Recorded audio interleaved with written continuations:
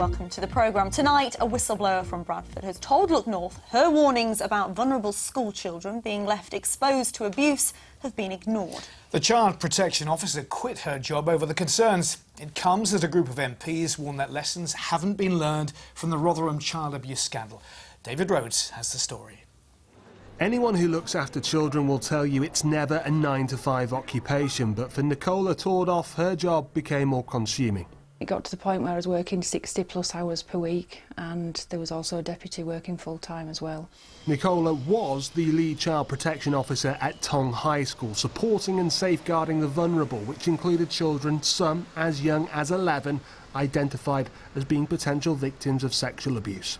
Beginning of February, I um, I raised with the, the governor what I deemed to be whistleblowing. Um, I said that if something wasn't done, then we would not be keeping young people safe.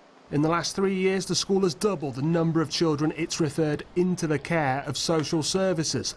Feeling her calls for more support and protection were ignored, Nicola resigned in June after writing a letter of concern to those in charge. I believe that it's, it's more luck than management that something hasn't happened to a young person. No one from the school was available to speak to us about the issues that were raised in this letter. Though they did tell us that as soon as this letter was received, they acted immediately to resolve any of the issues that were brought to their attention.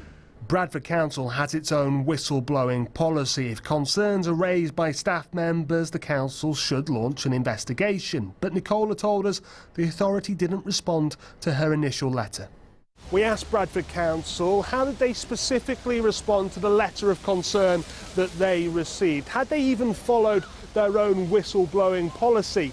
They simply told us, though, that child safety in Bradford is paramount, but they provided no evidence to say that they'd actually responded to the initial letter of concern.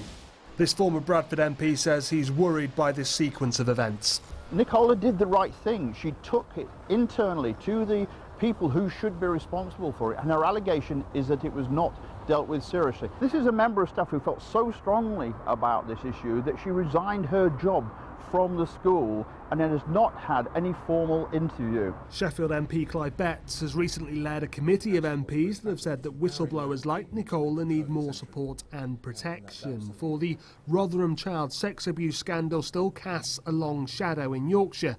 One of the lessons from Rotherham was that whistleblowers had been listened to earlier on, some of the most vulnerable children could have been protected. David Rhodes, BBC Look North, Bradford.